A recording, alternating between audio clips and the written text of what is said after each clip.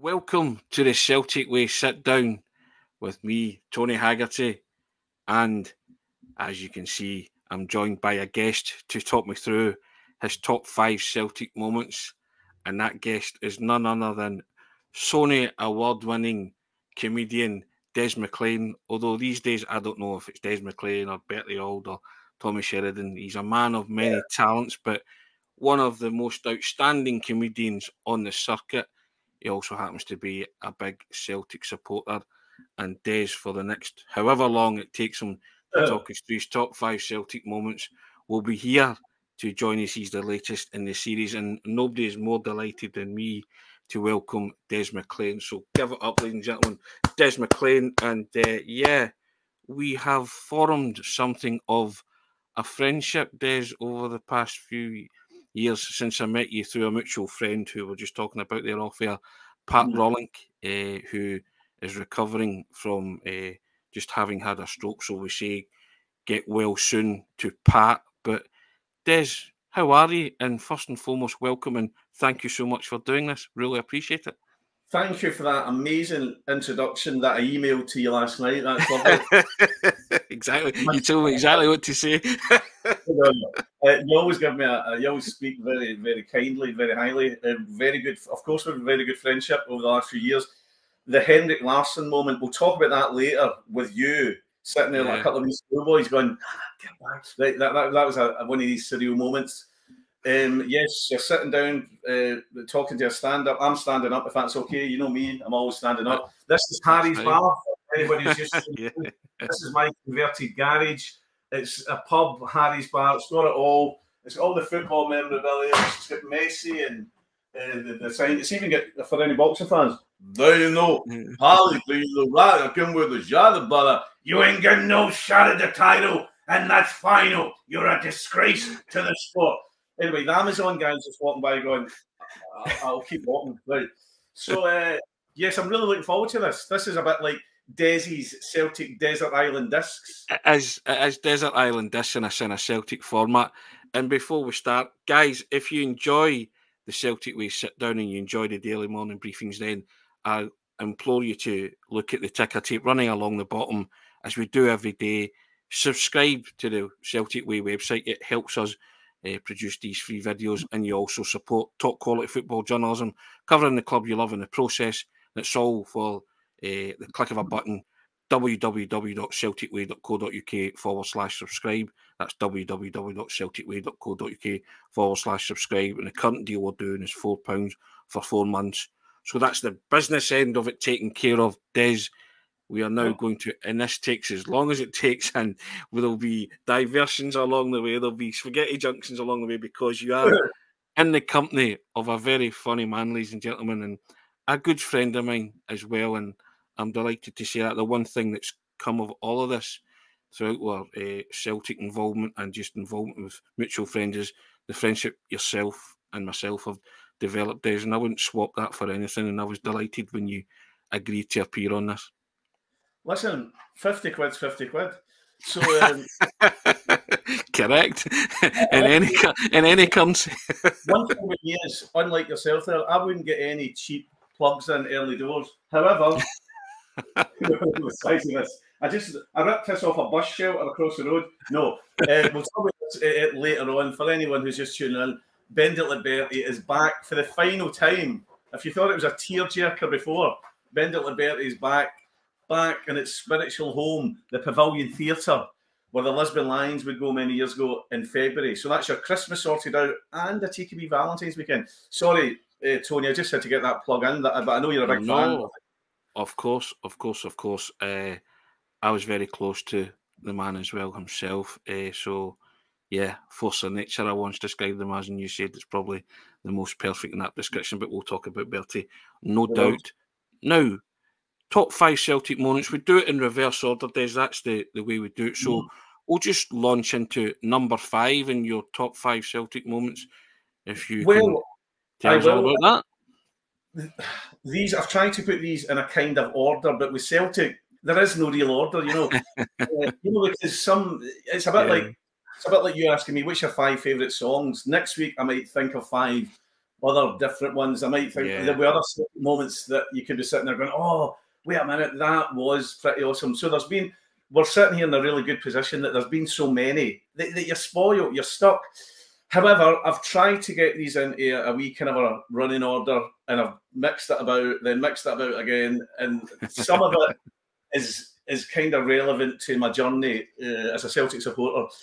I was brought up in the East End of Glasgow. Uh, I was born in a place called Ruchazie, a lovely little uh, seaside village just uh, uh, off off the Easterhouse, Garthamlock, uh, Way. But then I made some money and I moved to Blackhill. People normally laughing when I say that, but that was the truth. So I was always a black hill My mum and dad were from Blackhill, Garngad, that whole neck of the woods, you know, big big Celtic area as well. We returned to Garngad when Martin O'Neill uh, clinched the treble for a big party. We'll talk about that in a wee while. So uh, that what a day that was. Now, um, so I was brought up. So people say, "Why are you not supporting your local team?" So Celtic were my local team. You know, like I was just along, yeah. just down the quite literally, yeah. Yeah, I was just down the road from Parkhead. You could walk it from like Provanmill, Blackhill easily on a, on a Saturday morning. So I remember getting taken to, to Celtic Park when I was a wee boy, a, a, wee boy, a wee toddler, and all that. And, and you weren't allowed to go to any Celtic Rangers games, but you went along to testimonials. And one of my early memories was this is not number one, but it's building up to it. okay. Was going to like uh, I remember going to Jimmy Johnstone and Bobby Lennox testimonial, and I was a wee, I was only a wee boy, but Celtic beat Man United four 0 and I remember coming back and I was thinking Celtic must be some team, you know. You didn't realise it was just a wee testimonial and stuff like that. But all those kind of things, heavily anti Celtic, and it was just always when I was delivering papers and all that, it was the team group and all that, the evening times was always like, you know, in the back of the uh, the paper and all that, and back in the days, you know. But but so this fast forward right to the first um, season that I remember going to every game, pretty much every game. First time I joined a supporters bus in the East End, the Celtic Cross. That'll give you a wee clue. And it was a centenary year. We went every game.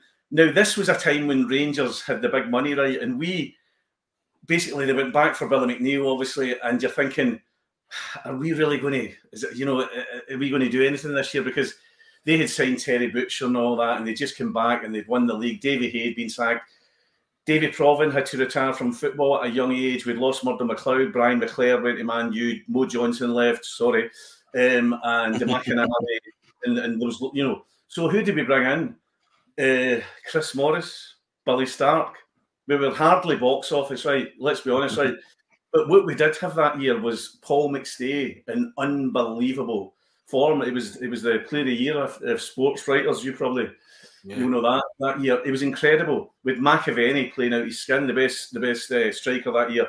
But we'd also big Roy Aitken, all these guys, you know. And, and by the way, guys like Morris and Rogan and all that were amazing that season, you know.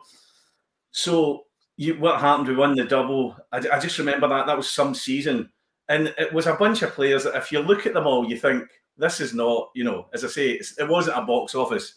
They were by no means a Barcelona. You know that it was, but what they did have was fight. They had a real camaraderie, togetherness, and they wanted. And you know, for that, for that single season, and we big, it was just so fitting that that Billy McNeill came back and we got that double. And you're thinking, you know, thank God that happened because we know what happened for the next few years. You know, yeah. And, yeah, uh, it's funny because that's yeah. My first season of being in a going on a supporters bus and going to every game. Never missed a game. And as you say, at the outset, you thought this is a ragtag and bobtail team, you know, cobbled together by Big Billy. Maybe it's written in the stars, and it culminated in Big Billy saying that there's a fairy tale about this club. That's and the fairy right. tale came true the centenary season because all of those pieces of the jigsaw just kind of slotted into place, didn't they? And maybe I remember Tommy Craig saying that uh, the vital spark that was needed that season was the fact that it was a centenary season. And these guys are going to folklore as a double winning team uh, in Celtic's 100th year, and I don't think they can get any higher accolade than that. You know, it was so fitting and so oh, um, it was so fortunate as well that we really wanted it. How else? You imagine? Yeah, yeah, yeah. The centenary year you know, if, if Rangers had went out and won a double or a treble, that, and then we, and Big Billy to come back, and it was, you know, it was an amazing season. We were winning. I remember Billy Connolly was commentating on this yeah. documentary, and yeah. he was like, "It's all right. It's only ninety minutes. Calm down." Because Celtic were like, like you were never writing them off. You were like, oh, yeah. a minute, 18 minutes. And the fight to the very the very end was incredible that year. It really was a triumph of the human spirit. As you say, no, I mean, Billy Stark, if Celtic signed players like that just now, they'd be up in arms, right? But Billy Stark actually win. And what he, he, he, amazing season. And all these guys, what was he, 75,000, 100, not even that, I can't remember, something like that. And we're Chris Morris, who who were these guys? but, but everybody, everybody to a man rose to the challenge and they were all playing absolutely the form of a life, that whole team. And if you were to look at them on paper next to, you know, as I say, they Butcher, Gary Stevens, all these guys, and then Joe Miller had a great season as well, of course, you know. Yeah. And, but when you look at that, you, you would think it wasn't the strongest Celtic squad, but oh, what they had, you know, fire in their belly, they just went for it. It was Eye the Tiger stuff, Eye the Tiger. It there really was some wonderful documentaries that you see. That the one with uh, Billy Connolly was talking to McIlvanney, wasn't he, in the jungle, and That's that was the, and he was talking about that. You know, where you said he was saying, you know, the Celtic supporters saying, "Hang on, there's two minutes to go," and it was the the manifestation of "Don't let go," you know, and getting Celtic dressed out the fire so many times. There was also that wonderful documentary. I've spoken about this quite a few times because I loved it. Uh, Scotsport did it in praise of Caesar, and Ian Archer wrote it, and it was just really, really wonderful. And and at the end, he name checks the team. We talk about it in the Dundee game, final whistle, and he says on the day it was Bonner, Rogus, no, uh, sorry, Bonner, Morris, Rogan, and all that. And he goes through the whole team, and he he talks about, uh, and he says a wonderful line. He says, "They say the joy has and the beauty has gone out of the beautiful game." He said, "But they weren't at Parkhead yesterday." And he said, "Celtic have come a long way in a hundred years." He says, and and all the players were standing on the kind of above the mm. directors, but he said, uh, "We will see their likes again." And what they did was when Celtic the musical was out, so the Celtic story was out, and he did a mm. photo shoot, and he had all the players done up in the centenary kit, and then they faded, yeah, they faded it out to they were all mm-hmm. done in the black and white shot uh, when the the first original kit, you know, in, a, in the hundred years, and it was a it was brilliantly done.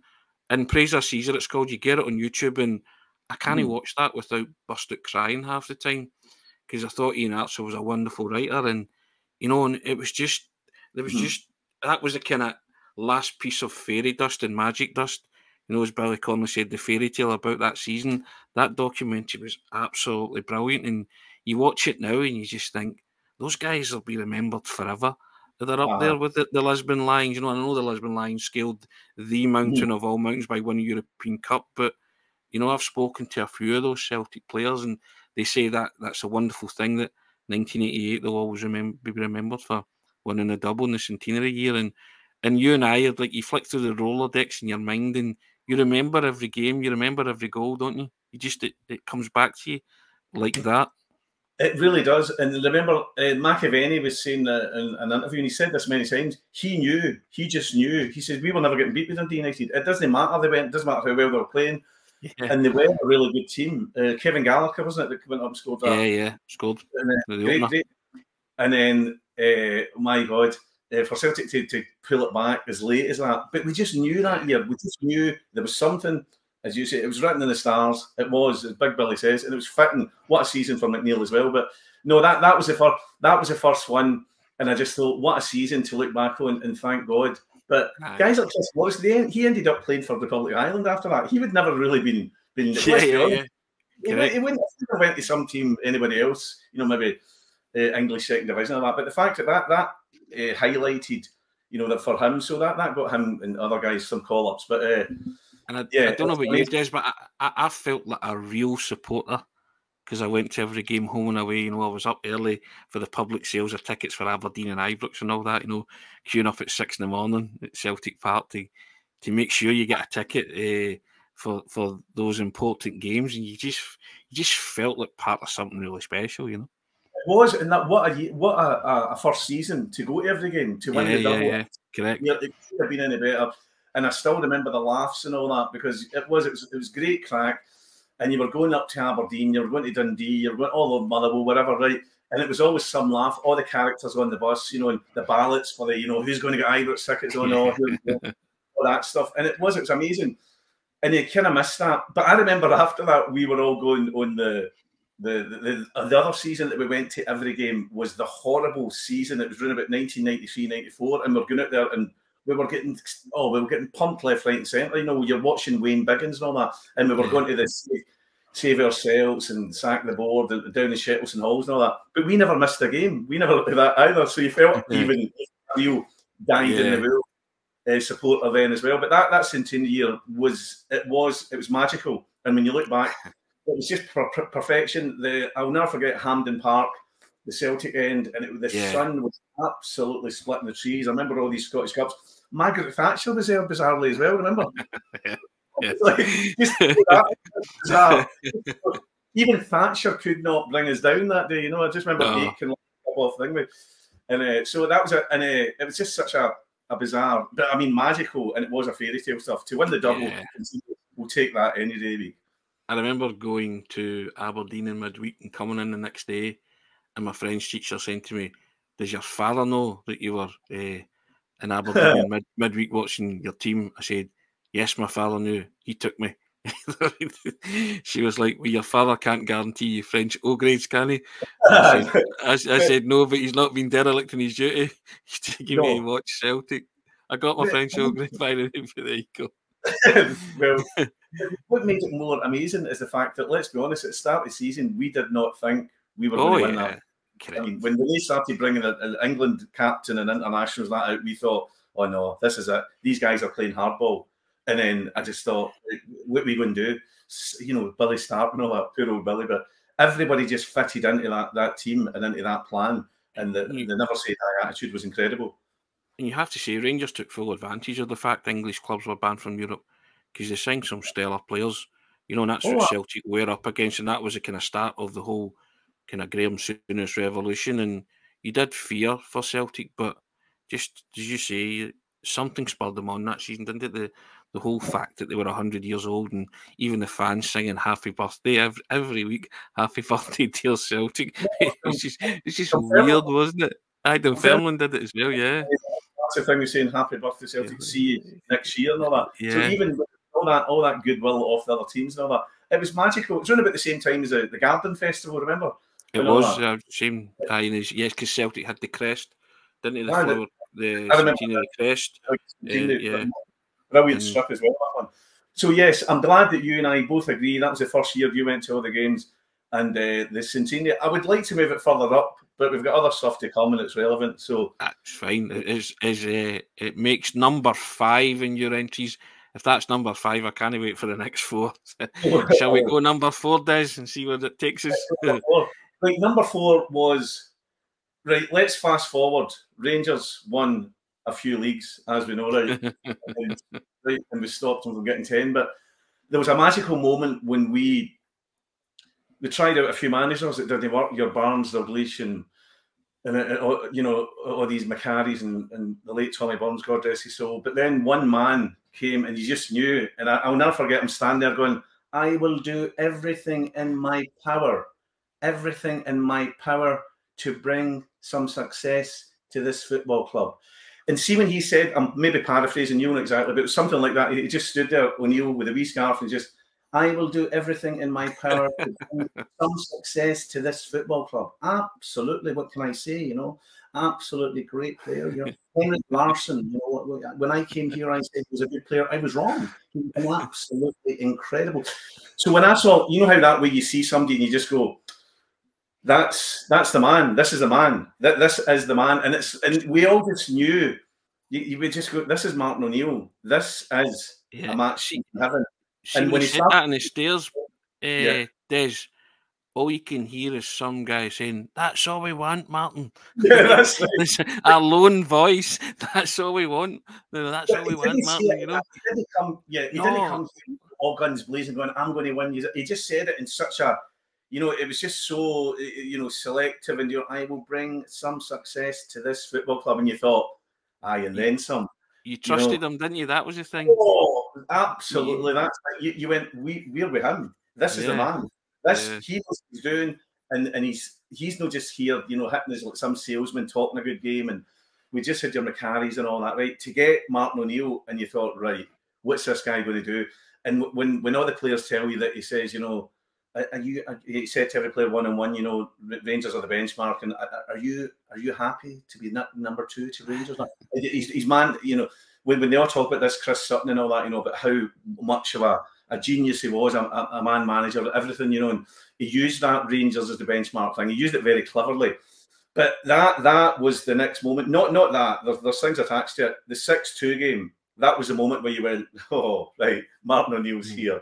He's here, and he is going to take us forward. And this is going to be, oh, what you you were like really excited because you thought we had been, you know, we, we had been slave mentality all these years right up to that point. Then you thought, wait a minute, we are not only going to go toe to toe, we are here to win. We are here. This is this this guy's stepping up to the plate here, and you just thought we're, we're going to we're going to win. We're going to. You just knew.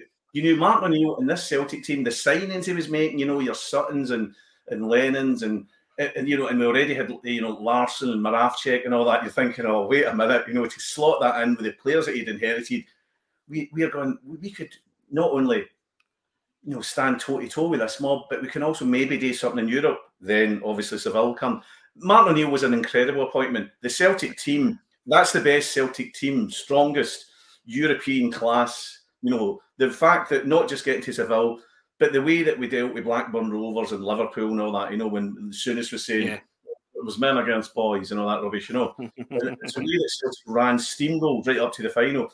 I mean, incredible. But Seville's another one. That's a, that's a separate. That's a separate one. But O'Neill and Celtic in that six-two game in that season incredible. And that was a party in Royston I was telling you about in the Garden the 6 2 game, Des, was the first uh, Celtic Rangers match that I covered for the Daily Record when I worked for them. And it was just, you know, that way, it was just, you you talk about like surreal experiences. And you're sitting there watching the team you love hammer their rivals, not just beat them, hammer their rivals. And you're being the consummate professionals and you're outwardly you're just like mm-hmm, taking it all in your stride. Inwardly, you're doing the silent screaming, aren't you? You're Edvard Munch. You're like, I, I couldn't, I couldn't get my head around it, you know. And uh, and Chris Sutton, who wonderful when Chris Sutton signed for Celtic. Great story that I had to do stakeout, and my next day it was my my birthday, July the eleventh, two thousand. So Chris Sutton was there July the tenth, and and I stood there the whole day staked him out, and he came up and he and I said, "Are you here to sign for Celtic?" And he came in that great line. I'm not here for a look around. And he went into mm. the and he went into the ground and emerged about eight nine hours later. And he's like, "Are you still here?" And I'm like, "Yeah." he's like, "Have you been to the toilet?" I'm like, "Nope." And he's like, "What do you want to know?" And I'm like, "Can you tell me everything?" he just stood there and he gave me, "I'm here, signed the deal and all that." And he was really, really kind to me. And then the next day, in the back page of the Daily Record, July 11, 2000, the Millennium Record. I'm here to tame Gers.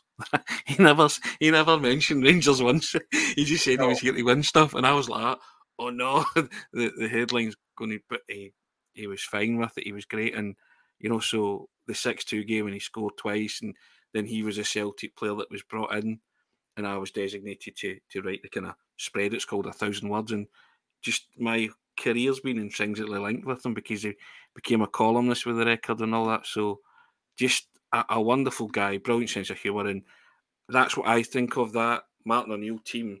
That was the benchmark, that six-two game, and then Seville and everything that happened afterwards. But and it was my first experience of working at a Celtic Rangers match, and what do you say to that? It's just unbelievable. The demolition derby, as it's come into known as folklore, you know. And that, I mean, if you were to look at that team, a lot of these players, if you were to say to people who are the best players that you've seen, you everybody would say Larsson, Moravcik, yeah, yeah, yeah, yeah. Big Sutton up front, uh, Hart, you know, uh, you know, a, a lot of the. Uh, and a lot of these players, Mar- uh, Moravcik, Petrov as well, was coming into form at that time. But a lot of O'Neill's signings were, you could say, even after that game, where when people mentioned their favourite ever players, it was at that era, you know, obviously apart from the Lisbon Lions and stuff like that. But these guys were the next the next big guns, weren't they? That people yeah. say, oh, player, that player, this player. But uh, it was just the fact that Can O'Neill at that time, dem- you know, demolition derby, and we're thinking, can O'Neill go toe to toe with this Rangers team that the money was no object, they, they, would won all those leagues, and then to go out there and to take six off them, yeah, it's just incredible. and that's when we realised, no, this is the man for the job. And I think they're uh, they're held in that esteem not because of what they did domestically. I think, as you say, it's what they did in Europe as well. They went toe to toe with real big guns, Juventus, Bayern Munich, you know, Porto, Lyon, all these big clubs at the time in Europe with a real kind of pedigree. And they left Celtic Park with nothing. You know, Bayern Munich and all that. They, they never get any change out of Martin O'Neill Celtic. And as you say, I spoke to John Hartson last week doing this very same thing. He said they were a team of men. Now you can take what you want out of that, but I kind of knew what he meant.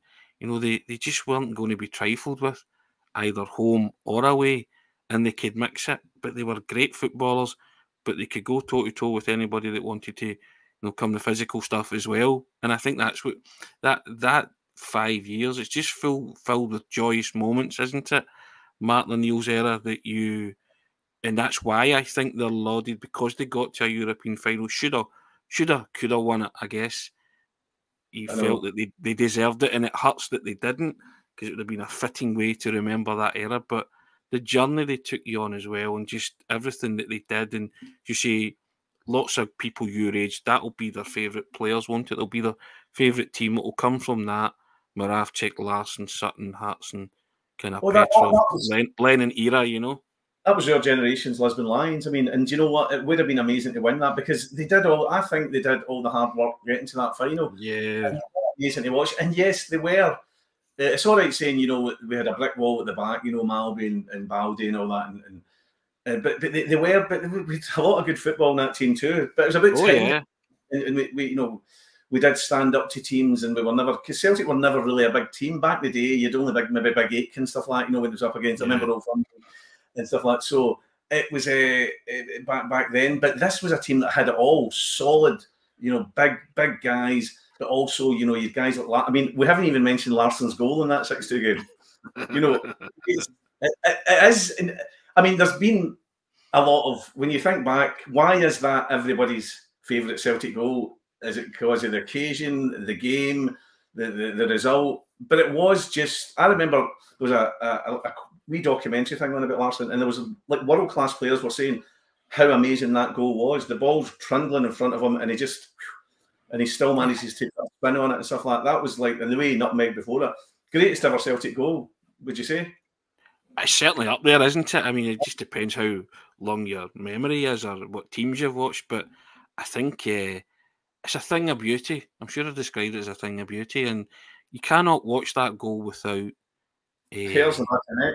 Aye, without smiling or the, the, the memories that it evokes, and uh, you know, I I just you sort of looked at it. It was kind of suspended animation, wasn't it? yes, it was. And he just kind of went. He, he's he's just nutmeg Bert Konterman, and he's he's just like chipped a world class goalkeeper as hmm. nonchalantly as that because it was a kind of I, I looked at it and sometimes kind of it's a kind of five sides goal. It was just it, was kind of you yeah. know it, it just it did what came natural to him, and you looked and you thought that's a special moment. That's going to go down in, in utter folklore because, because of the you say the, the occasion, the game, the score, and just the way he went about his business. And yeah, and I can understand why it's a lot of people's favourite ever Celtic goal. I find it hard to kind of know that rationale, favourite ever, but it's got to be up there. You know, it's got. It's, it's, it's, a, it's a kind of goal you would see on a Sunday morning when a guy doesn't care if it's in or no. it's, it's one where a guy's running. you know what? It's, in. it's it's the it's the guy that that somebody says to you, he was on Celtic's books as a kid. He's got the beer belly. And, you know, and he just and he get he's got the he get the sambas on, and he's just like ah, I, I, I, used to I used to play a bit. So you know, it's it's must it's a Mr. Bojangles go in it. I, I used to dance a bit and I and I drinks a bit. And I, I could do a bit, you know. It's like it's Larsson being Mr. Bojangles, you know.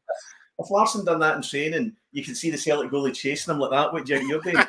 you know, it was one of the ones. You know what? How do you like lobs? And how do you for lobs? Bang right there it was a five-a-side Sunday morning type, you know, a wee thing. If it goes in, it goes in. And then you, are thinking, what a goal. But uh, here's the thing, you you might remember this, you've got a good memory, you probably will. see all these Celtic nights that you go to, the Q and A nights or a big Celtic yeah. Gala Foundation night. When you and I were at that night down at Celtic Park, where you asked Larsson to sign seventy-three pages or whatever. Um, you, know, you remember when it showed you a montage of all the goals, right? Yeah. Which one get the biggest? And it always does. I know people could argue every single goals uh, film now, right? And back in the day, or oh, you know, Jinky scored this crack at it, and I appreciate all that. And Dalglish scored this brilliant goal away. That that's all fine and well, but nothing we can do about that. But the ones that we do see now, every time you're at one of these big nights and that goal comes on, and they always leave it near the end because they know yeah, yeah. they know performance. And when it comes on, the whole place erupts because not just because it was that game, it really is a world class finish. Yeah. You know, and just the way that he runs with it, nutmegs, the cheek of the nutmeg, and then Oh, do you know what else? Yeah. I'm going to pull the leaks down as well by lobbing it. And I've no business lobbing a world class keeper. So uh, everything about it was just, it's just, you're right. Every time you see it, it's a Rocky Balboa moment. Yeah. You go, the hairs on the neck and the tingles that got in your body. Nobody will understand. I try and explain it to my wife, but you know, she doesn't get it. and what Des was referring to is myself and Des were at a Celtic night one night, and I taken along, I described 242 Henrik Larsson goals for the daily record pull out before he left, and uh, he he read it and he, his son loved it. He said uh, Jordan Larsson he kept it as a souvenir, and, and I was sitting with a, an ink marker, wasn't I? And I'd got it laminated, and I was sitting like that with Des, and I was disputing in my head whether to go and see him or not because he was sitting at a table just across from us, and he was sitting beside Alan Stubbs, and I was saying to Des, I'm always friendly with Alan Stubbs should I should I just go and use him? As you saying, it was like it's two two two schoolboys saying, "Will you get off with my pal?" you know what I mean? And I was like, and you and I remember you saying to me, Tony, you have to do this. If you don't do it, you'll walk away from tonight and you'll regret it for the rest of your life.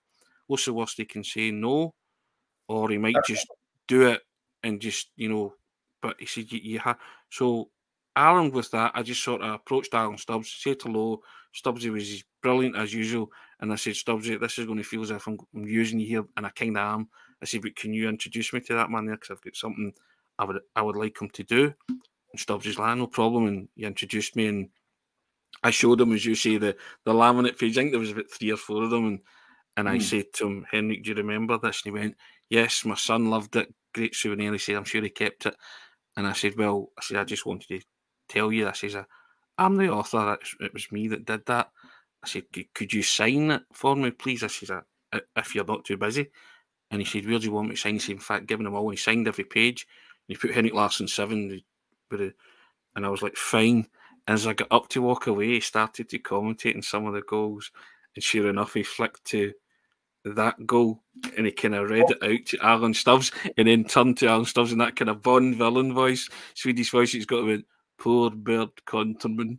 Oh, the, three, the three of us just busted laughing, and I, I, was just ever so grateful. But I was more grateful to yourself for actually saying to me to do it because I was genuinely like I didn't want to annoy him, and and you say to me, Tony, you'll regret this the minute you walk out of the stadium. You'll think I had yeah. my pen at the ready, and you know, and and it's all nice. I just didn't want to annoy somebody who was at a dinner for it was actually sadly for a lady who used to do the laundry who passed away through cancer. Angie, wasn't it? Yeah. That's it. And by the way, I don't know about you, but have you ever seen so many Celtic oh, legends one room?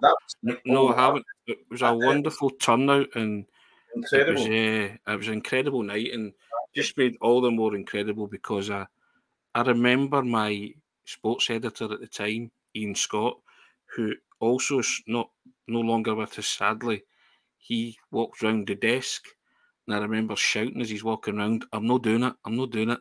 And he went, You don't know what I'm going to ask. I said, I do know what you're going to ask. You want me to describe 242 Henrik Larsson goals, don't you? For the pullout. And he was like, ESP, indeed. And I said, I, I said, come on, 240. I said, come on. And he said, do it. He'll love it. And it's always stuck in my mind. And he did love it. And because of him, I now have what I would deem a priceless souvenir signed by the man and himself. And these are things that you can't buy, Des. These are things where. I say to you off air that they're just surreal moments in your life and your career. And I'm always said that I'm fortunate and privileged to do what I do. I've always kept my feet on the ground about it. but I, I, it just humbles me greatly that you support a football club that can take you to these places, and I'm I'm, I'm indebted to Larsson for doing that, and just in just privileged and honoured to be around that company at times in my life, and it's just wonderful. And uh, as I say, I've got it laminated. I need to get it framed, but I just look yeah. at it. You know what you said. Sometimes you just look at things and you think, "Did I do that, or did that actually happen?" And it did happen, and I'm uh, delighted about that. I still remember saying it's a no-brainer. You need to do this. Oh, oh yeah, yeah, of course. And and, and, you, and you remember how shy I was, oh. reticent to do it. You really had to kind of grab me up off the chair and say, "Look, push eh, towards eh, it." You know, eh, it was one of those moments. Yeah, right, would have something that money could not buy. Yeah. You know? Dirty old blazer. Right, we'll talk about that later. But no, no, you're right. Something that you couldn't go, oh, where can I find this on eBay? How much is it? But that money couldn't buy that now. It was a brilliant little, you know, memento as it was, but to get yeah, the king, to get the king to sign it, and it was so nice about it and so laid back, and and that yeah, was a room legends. We'll never be in that company again. No, never again. Yeah, legend. It just shows you how and how much Angie was loved as well, you know. So, um, yes. So four was the Martin O'Neill era, the six-two demolition derby. Now on to your top well, three, Des. Excellent. Well, the three would have to be still kind of a, we're, we're still uh, in the Martin O'Neill. It would have to be Seville. What an absolutely incredible! I mean, we, we mentioned we mentioned uh, Martin O'Neill's brilliant and Martin O'Neill's team's brilliant run in Europe, but Seville has to be a standalone experience. I will never forget what is it, 70,000, 80,000, who knows, right? But what I do remember, it was just magical. It was a sea of green and white. Everybody was your pal that day. You were cuddling everybody. I still can remember, can, look, we were on an open top bus going through uh, Seville and all that. Deco, Deco, who the? That's Deco. I've edited that, but right. And all these, all these Porto fans were all like, who is?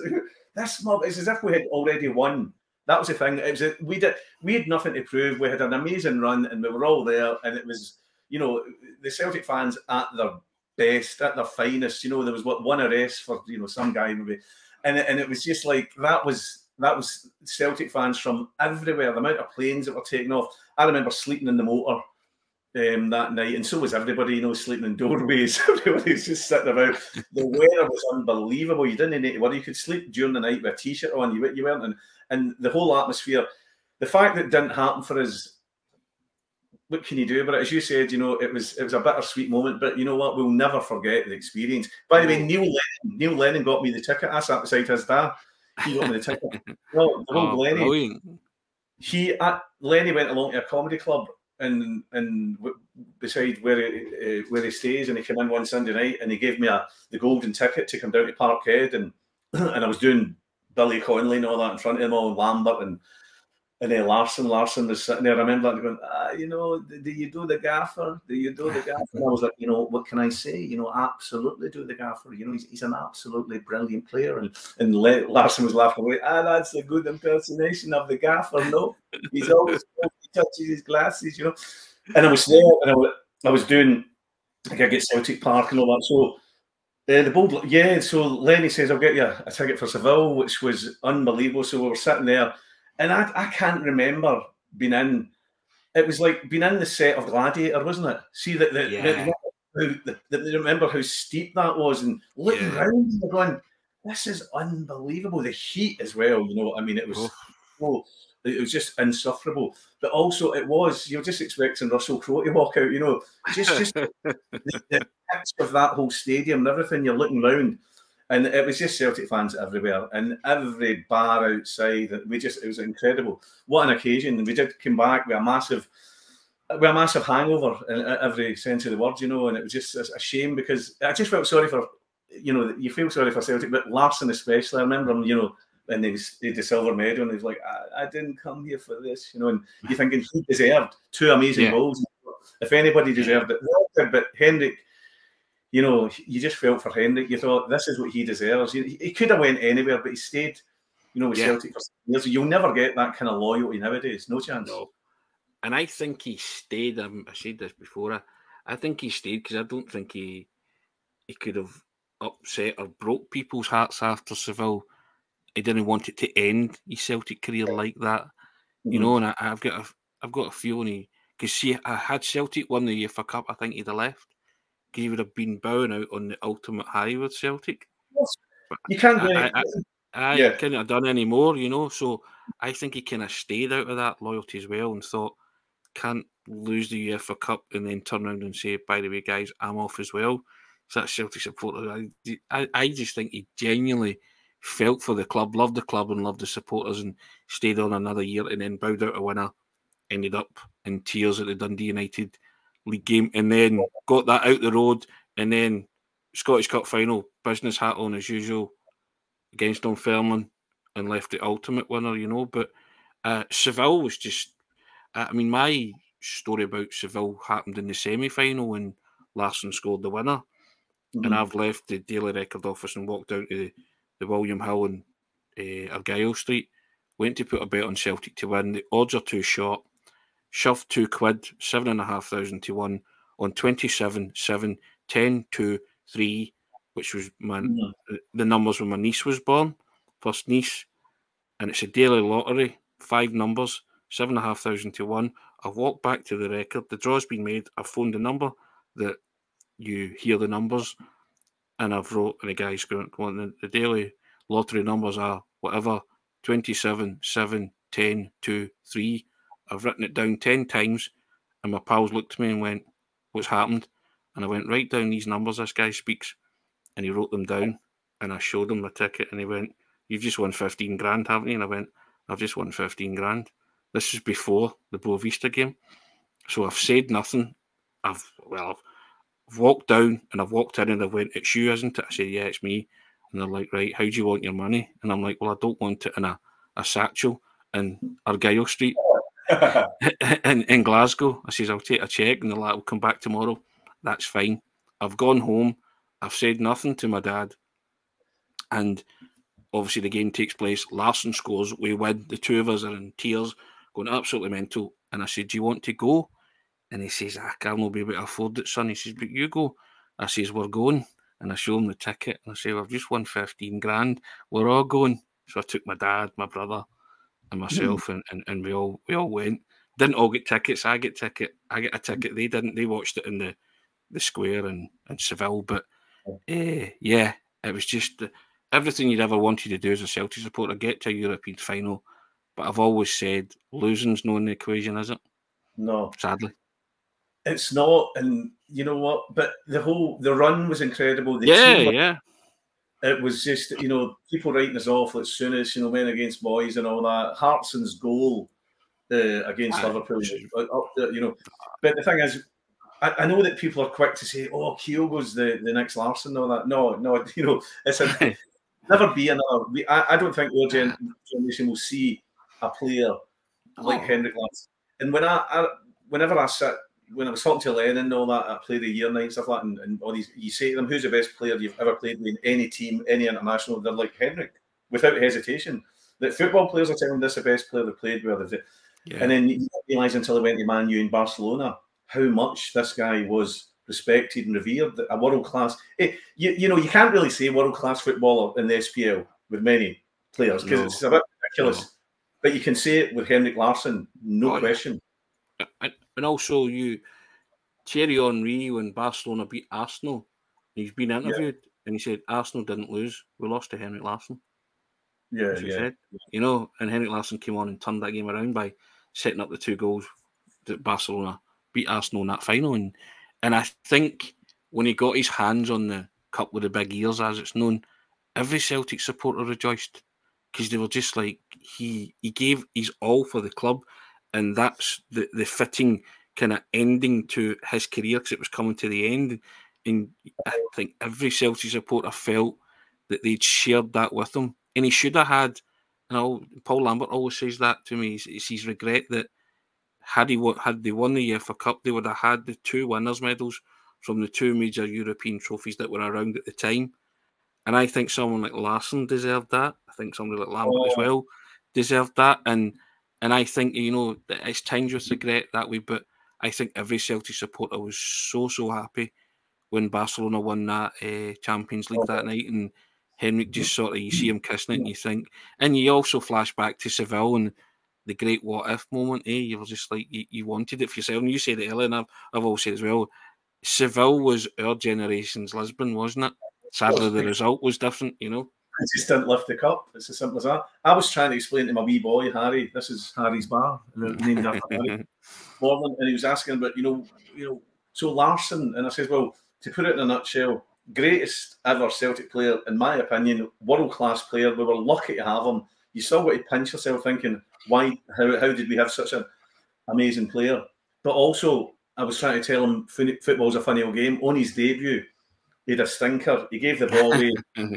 people were saying in the football phone in the next day, when we should stop this, we should swap this guy for Chick Charnley while we can.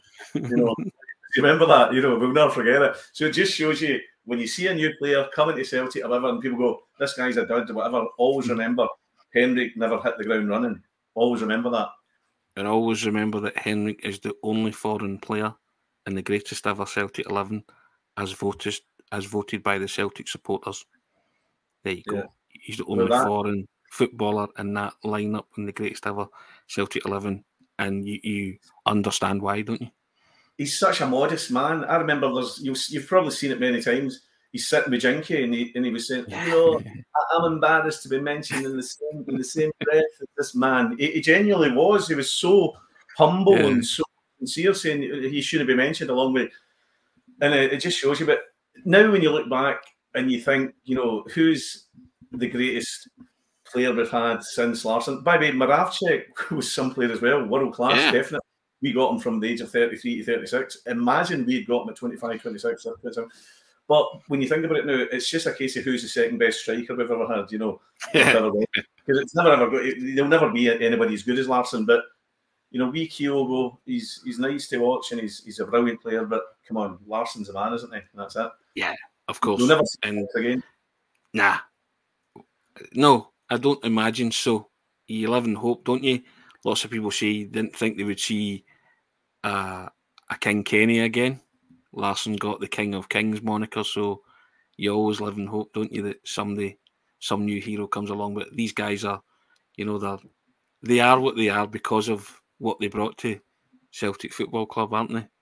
It is funny though. You just saying that you never know who's around the corner. I was I was doing a corporate last week, and there was a for a corporate company, and I was a, sat at a group, and it was a Liverpool branch. It was all these, and they were they were older older guys, and they're and they says when Kevin Keegan left Liverpool, they thought yeah. that's it. We'll never find another mighty mouse, another. And then suddenly this guy from Glasgow came, Dalglish, and I went, "Is he the best ever?" And they says, "Best ever." So it just shows you when you write somebody off and you yeah. think it can't. And then they got, yeah, Keegan was brilliant. I mean, absolutely brilliant. But in my mind, they got ten times the player in King oh, Kenny. And King Kenny is a ten out of ten footballer every day of the week and twice on a Sunday. There is no argument with that. You, you he is the last world class Scottish player. Definitely. That, this country's produced. And I mean, you spoke about world class. He is the last world class Scottish player this country's produced. And and I'm so Up we're talking. Yeah, 77. He left Celtic. Celtic, uh, uh, sorry, uh, Scotland has not produced a world class player since, in the true definition of the word, in my opinion world class. You've had guys that are close, you've had great players. I'm talking about world class.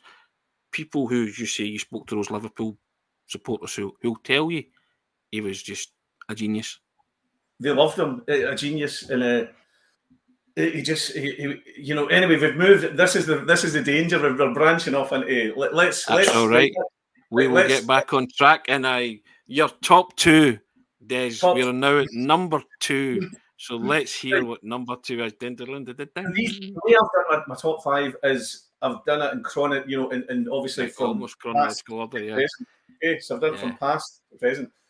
So the next one, and I have to say, the man, I wouldn't say he's coming under fire at the moment, right, Mr. Rodgers, and I know he's not everyone's cup of tea at the moment. And you and I said on our last Celtic Way podcast a few weeks ago, Brendan Rodgers did not need to come back, right, and take all this hassle, right? However, I was looking back this morning fondly at a few of Brendan's my favourite moments that he, that Brendan brought Celtic, and uh, they were all mostly against Rangers. You know, there was, a, there was a lovely moment when Rangers there was a video where Rangers fans all cheered when they got Celtic. Remember that one in the semi final? Yeah. they were all got right. And Brendan went out and beat them 4 0 at Hampden. You know, I don't remember that. And then and then a few two weeks later, it was April in it, 2018, two weeks later, there was a 5 0 game. There was still, was it 30, 30 you know, yeah. there's 37 minutes to go. It was 5 0 at Parkhead. Yeah, yeah, yeah. Remember, did Forrest not rattle the bar for about 40 yards? And absolutely, we missed the goal. I remember running up and Roger had just scored in 47. Then it was 4 0, 5 0. It was incredible. So he answered, you know, his critics. Then I still remember Rogic's brilliant goal against Aberdeen, the final, the mazy run. Who can forget? You remember that that moment, three two at Ibrox, when he just he just stood there cool as anything. Murty was standing, Murty was standing there like that, like John McCruddy giving all that. You know, Brendan just went. I just thought that was, you know, you can't argue the guy. So I remember as well it wasn't a Rangers game. I remember going down a European game at Parkhead. Man City had won 11 games in a row, yes. And yeah, then they come up right. Celtic Mickey Mouse League team, three each. What yeah. a game that was. Dembele scored a couple. Yeah, twice, yeah. So uh, what a game that was. Even remember big uh, was it remember was it Kolo Touré at the end of it? Was that remember he walked yeah, up absolutely knackered done in? Yeah. That was one of his best performances in Europe. I mean against oh, yeah. quality side. So so Rodgers, there's a it's obviously a triple or quadruple tiered Rodgers here, but Rodgers' era, the first time round, the double treble and all that, the football. I thought Celtic the first season. Sinclair had an absolute player of the year, remember? And we, we Paddy Roberts and all this, you know, and, and they, they, they were just Dembele. Uh, we were playing some football. Do you remember the incredible goal against St Johnstone away? Yeah. Do you remember? Yeah. finished oh, yeah. by. Uh, Dembele, I think it was. No, no, it was it Dembele. It was. It was. It was a. It was finished by Dembele. I mean, it was one of these goals that you watched on the Monday. You didn't realise how good it was. And uh, the football, we, we all talk about big hands, and all that, you know that, that. But you know, some of the, the times that Brenda brought us that first time round, especially yeah. against Rangers, especially when they were all getting cocky and hoping for, uh, you know, it was just I just thought it was brilliant. The double treble, treble treble, the bus going down Celtic way, you know at, at, that point, I thought this is really good football. We're sitting in a lovely position, and obviously he left, and oh, that's oh, that's. But I, I, those all those games at that yeah. time, that brilliant time. I remember getting along, and the football you're getting as well. Somebody, Tom Rogic, he, he turned him into. I remember when he came, there was about four players that were when we get knocked out in the semi final, and the, people were screaming for like it was it? He made Callum McGregor a player. Rogic came good. Scott Brown played the best football of his career. Forrest you get the best Stuart, Stuart Armstrong as well. Armstrong turned into uh, a great player as well. So, you know, there was no question when Rodgers came. It was brilliant football, a great team. We didn't have much opposition, but that night against Man City as well, in that game at Ibrox, we're, t- we're doing to 10 men, but we won 3 2. So many highlights in that two to three year period. They were really big, big. I think he played Rangers 13 times, was it? And won 11, drew one, and lost one. yeah, so those stats say, oh, they're incredible. And as you say, most of the good times that he served up what came against Rangers, didn't he? There was a 5 1, a 5 0, a 4 0. You know, they just uh, two 5 1s actually home and away. And yeah, it was just, that was an incredible time. That invincible season was just an astonishing footballing feat.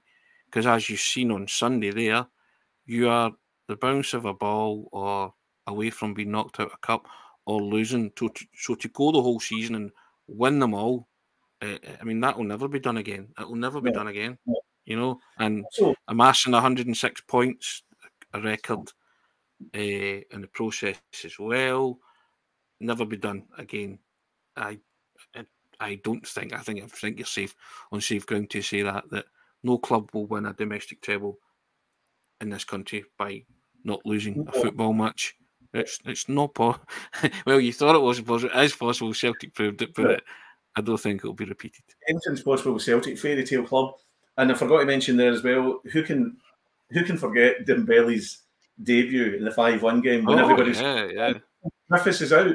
Griffiths is out. Dembele, who is this guy? We've not really seen much of him, and then he scored a hat trick. I know it was a poor Rangers team, but it doesn't matter. You know, we had it for years. You know, during the, but it was. Uh, Dembele came in in a hat trick. That was absolutely magical. Um, and, and it's still one of my favourite moments of that Rodgers era. New talked about that substitution. See that pass Yeah. from Dembele to Oh. Edouard that just opened the whole of the Broomloan end up to Edouard. And the minute Edouard picked up the ball, I knew what he was going to do. Yeah. Don't know how the Rangers defender didn't know, but as soon as that opened up, and that was the reason that everybody said, "Yep, he threw on a forward," because he said, "No, we're not settling for a draw, two each with ten men. We can actually win this. Here's why: you go up there alongside your compatriot, you get a chance. You're going to have to take it." And just that quickness, I thought from Dembele, that that pass from the centre, it just opened up everything, and you're thinking, "Well, go and do what you do, Edouard." And sure enough, he did it, and you know the goal that kind of ended seven and a half thousand people being Oh, in the. Broomloan Roads end at Ibrox, to be honest. Not just them, the players were coming out that week saying, "Oh, we've got the measure of Celtic and all that." And then once again, ten men shut them up big time, just like that semi final when they put that video up, the mod cheering we want Yeah. Celtic. to. So in that game at Parkhead, as I say, five 0 There was it 30, 37 minutes to I go. think it was something? something like that. Yeah, yeah, certainly a lot of minutes. Three or whatever, and they're going, this is going to be nine nothing. And then mm. once again, it was- one of these games where I've spoke to many Rangers supporters who have said the same. They went, we thought that was going to be a seven eight nil, and we got away with it. And for to, to them, for them to escape with a five nothing was actually some doing. But no, no, I, I just remember I'm not going to. You'd be lying if you did not enjoy Brendan Rodgers coming here. Thirteen thousand. He didn't get thirteen thousand this time round, but it was magical times and all the games. When you look at them all, of course. the way, the way that he won those those trebles, he had a brilliant success rate, and the, the football that Celtic were playing, you know, they, they were amazing to watch at times. Well, I just thought that he brought so many happy times and big scorelines against Rangers, and that Man Yeah. City game was incredible. That was a wonderful game of football. That yeah, I agree with and you. they It's- held their own that night. That, you need wee games like that to prove that we're not just, you know, because everybody, ah, it's a poor Rangers side, ah, you're playing the Mickey Mouse, there's no in the league. And then to go toe to toe with Man City, who had won 11 games on the bounce, and Yeah. Pep was this a great Celtic team, and we were playing, we were playing brilliant. And I did think, and I still think, people are saying, oh, you know, Rodgers coming back with big Angie style. I just thought it wasn't a million miles away from the Ange, you know, Mm. it, it maybe yeah, wasn't gung ho's Angie's, but I just thought with his pressing game and, and his aggressive style and stuff like that, it will, will come good. Okay, we only need about seven players, but we'll get there in the next couple of weeks. We'll, we we'll, won't- we'll find that out in the fullness of time, Des. Indeed. Yeah. Now we've come to it. That was number two. Rodgers' invincible season in that era. Uh, Rodgers Mark One and all the good times and all the, the Rangers And games let's that hope they Celtic roll on. And that's it. Yeah, yeah. correct. Indeed. Well, uh, Number Rodgers Mark Two and number one. Dun, dun, dun, dun, dun, dun. Drum roll, please. Go on, Des. Take it away. I know it's coming, but I Right, never okay. hearing it. Right, okay, thank you. Uh, you described this man, the man who this blazer belongs to, as a force of nature. The great Bertie Auld. I was asked to. This has been the greatest. My the last two or three years. This is it here. Look, that's this is Bertie's actual blazer. This is Bertie's actual blazer, and uh, that he wore. You know, when he was uh, when he wore so many times Celtic Party, he wore it to Vegas, which will actually wore it in Vegas as well, playing the man.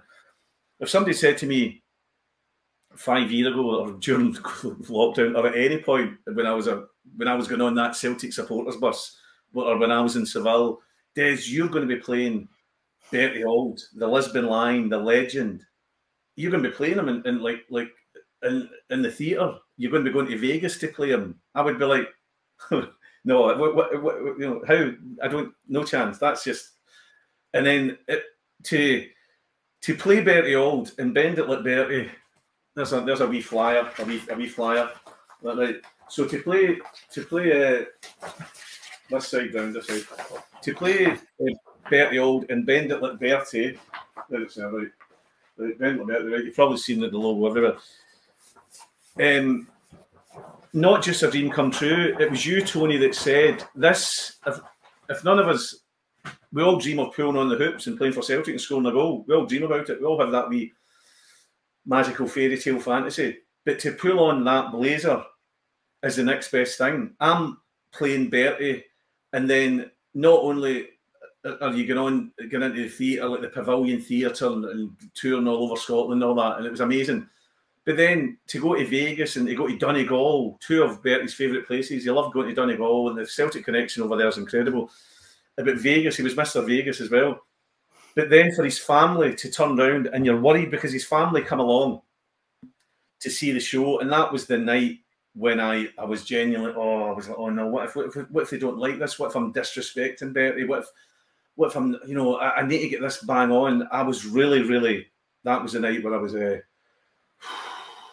I thought oh come on. And the end it was in Motherwell Theatre and I remember at the end of it Bertie's family came down his son Robert Robert's wife Susan they came down and he'd been you could tell he'd been greeting he'd been crying I remember thinking, "Oh no, no, it wasn't that bad, was it?" And he and he, he says, "I loved it. You were you were just that was like my dad up there. You sounded like him. You you did." He says it was just you. Oh, I, I was just it was too much. It was breaking his heart. It was too much for him. His wife says he's been breaking his heart through that. And I went, "Oh my, that that shows you how powerful it was." And I went, "Honestly, you were so like him and sounded dead like him." He says, "You looked like him." And when you're up there, and he said, "What uh, what size of?" And amongst all this, I was massively relieved, right? Massively relieved, and I thought that's it. His family. I'm getting the thumbs up. I'm getting the seal of approval. And he says, "What size are you in a jacket?" And I thought, and I genuinely never even gave it a thought. I went, uh, whatever it was, the size. Jim Orr, the writer, shouted the size. He knew. He, like Jim is. And I still, I just thought, you know, people say things and they go, "I thought that'd be a good idea," but it never really comes off. I never gave it. I was just so relieved that he enjoyed my performance. It was just all about just them, them giving it their their blessing. That was it. The next day, I will never forget, I'm standing up here in the house, up in Robroyston, and it was about lunchtime, and I just got a WhatsApp little photo, and it was that. And he says, Here's a present from my mum, from Bertie's wife. And uh, and it was that. And I'm looking at it going, a present? What? And I went, that, what's that? A green green jacket, green green blazer? Oh, it's got a Celtic. And then I thought, no. And then I replied, I went, really? And he was like, yeah. He says, that's yours. I thought you cannot, you, you can't get, you can't get. I mean, it's like this is Bertie's blazer. This is this is Bertie. This is like Henrik Larsson giving you his boots. Except, yeah. I thought this is it. I, I remember phoning my mother because you know, and I just remember saying, you know, Bertie, oh, Bertie's family, and she was like, "What?" I says, honestly, she, my wife didn't really understand. I says, "This is," but she was, and then I went down, and Robert, Robert uh, fitted me like a glove. Honestly, like a glove and uh, I couldn't believe it. I just could not believe it.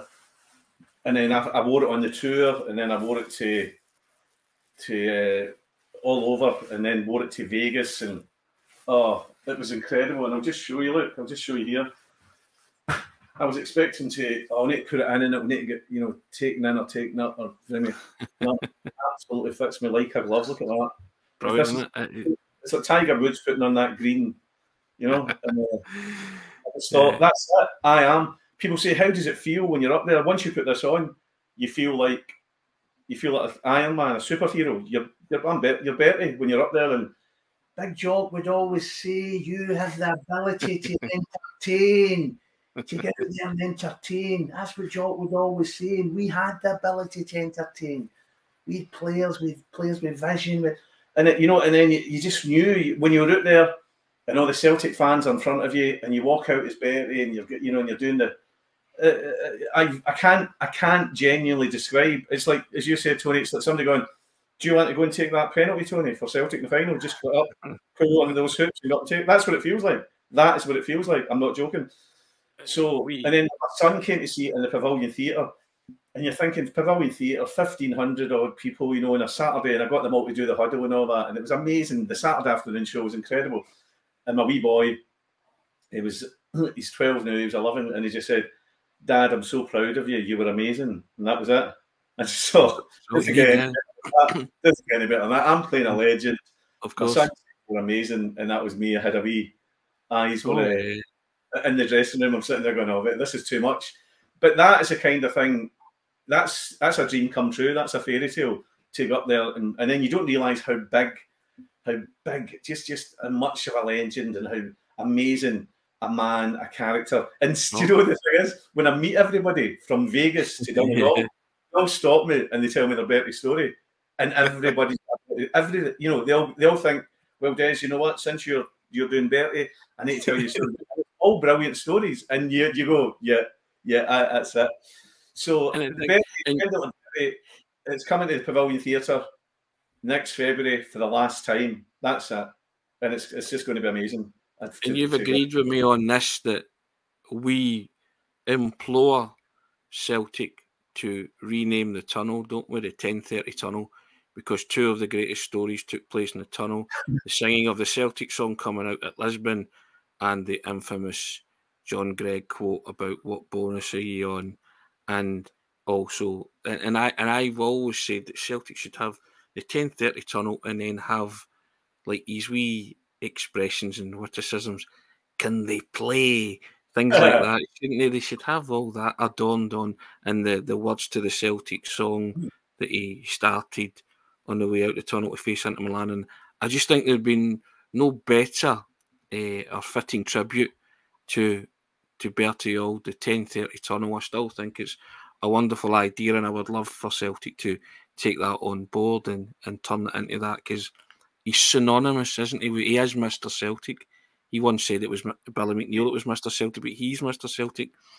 And uh, he, everybody, I, I, I, wrote, I spoke to you and we did a, a big interview about you playing Bertie, and I wrote that he was the, Bob Monkhouse was the one million joke man. Well, Bertie was the one million song and joke man, wasn't he? And he, Pope John Paul played to 250,000 people in Belarus. Bertie Auld had more supporters than that because everybody knew and loved Bertie Auld. Everybody. In this blazer, there's a there's a wee there's a wee pocket here, and it's, it's got a burst. It's, it's got a pen because he signed. He wouldn't. He, wouldn't. He never walked by him doing it. Robert, his son, me the, the, it's all. It's, there's a purple. It's like ink there. All he says he would stop. He would sign. Nowadays, the modern autograph is a selfie. He couldn't get enough of it and that's you know that that's uh, no mean feat for you know Bertie getting on in life, and he would still stand and but that takes it out you. But he was there with everybody. But you're absolutely right. That tunnel was a no-brainer. The 1030 tunnel with all the week, well, that's magnificent. But can they play? Yeah. Entertain and all that. Yeah. Entertainment, entertainment. And and it would be amazing because you're right. You mentioned how uh, he's just a total. He's the greatest ever Celtic personality. I mean, it, we, we mentioned Larsson, greatest ever player, and all that, but there is no bigger Celtic personality oh, yeah. ever. Jinky Dinky probably, you know, comes close, but I think Bertie, the fact that he was just a, he was an entertainer himself. Billy Connolly said, mm. if Bertie, if Bertie wasn't a footballer, he'd be a brilliant stand-up comedian, you know. And he's true, he's timing and everything, and you know, wherever he was, you would see him. And if you look at all the YouTube videos in Baird's Bar, he would bury guys left, right, and centre, with hecklers. He's, he, you know, the old industrial language. Everyone got it. Even the players were all going, "Oh no, oh no!" Put the firing line, walking in late and stuff he's a remarkable Celtic man, ambassador, uh, legend, he, he, biggest personality of all time. Yeah, he bestowed the gift of Celtic on everybody that he met, whether they wanted it or not. Was neither here nor there. He bestowed the gift of Celtic upon them, and they took from that what they what they wanted to. I mean, and I've always often said as well. There's there's YouTube uh, footage of him with the greatest snooker player ever, oh, Ronnie O'Sullivan, and Ronnie O'Sullivan is just, he's awestruck with Bertie Auld. He, he is in genuine awe of Bertie Auld, And this is like the greatest player ever to pick up a cue and the world champion so many times. And, he, and he's just standing there. He's bamboozled, he's entertained, but he is loving being in Bertie Auld's company he was totally sold on Bertie, and he, yeah. you could see him laughing away uncontrollably. And, he's like, oh, "Did you get much exercise? I put my teeth in the morning, Sonny." And he's howling, laughing at, and he's like, "Listen, there's my number. If you come down me," and he genuinely. It's only, oh yeah, yeah. Glad you that. It's only on for maybe two, three minutes. You get it on YouTube. Bertie meeting Ronnie O'Sullivan, but that was just Bertie with anybody. It doesn't matter if you're yeah. a world champion, anybody. Bertie had that instant likability, and yeah. and, and he, there's a line in the Bertie play where he, and somebody goes, "Mr. Auld." Denise and he goes, just call me Bertie. Only referees call me Mr. Auld," And that was Bertie. Everybody wanted to just always call him Bertie. He's always your pal. He'll always feel like your pal. He'll always ask about you, how you're getting on. It was never me, me, me. And it's hard to believe that he was also a brilliant footballer and a Lisbon Lion, apart yeah. from the fact he's a fantastic man and, and Mr. Celtic, as you you quite rightly said. He was Mr. Celtic. Incredible. An honour. This is the biggest honour ever to play a man like him. I don't know about you, ladies and gentlemen, but that's been almost 70 minutes of green and white gold I just can't thank uh, Des McLean enough for giving us his top five Celtic moments. You cannot top playing Bertie Auld. Can he? And By the couple of, I've just got Fivar. There's a couple of bits we need to do here again. I'm only joking. and uh, it doesn't get any better than that. And you see Des there sporting and wearing the most wonderful and treasured souvenir, which money can't buy, wouldn't buy. And the memories he's had playing Bertie past few years has been incredible for himself. But I think you'll agree, everybody, that uh, the last 70 minutes have just been wonderful. It's been great sharing that with you, Des. Been a great laugh, but just the memories that evokes and, and everybody's memories, top five Celtic moments are different. But that's been sensational, sir, and I've really enjoyed that. And I thank you so much for coming on. Listen, it's been an absolute pleasure. I always enjoy getting a blather with you, and uh, I hope that you know the the viewers and the, all enjoyed it too. I'm sure. I'm sure they will. And before you go, as we always do, strap line running along the bottom, guys. Subscribe to the Celtic Way website and help support top quality journalism covering the club you love, all for the click of a button.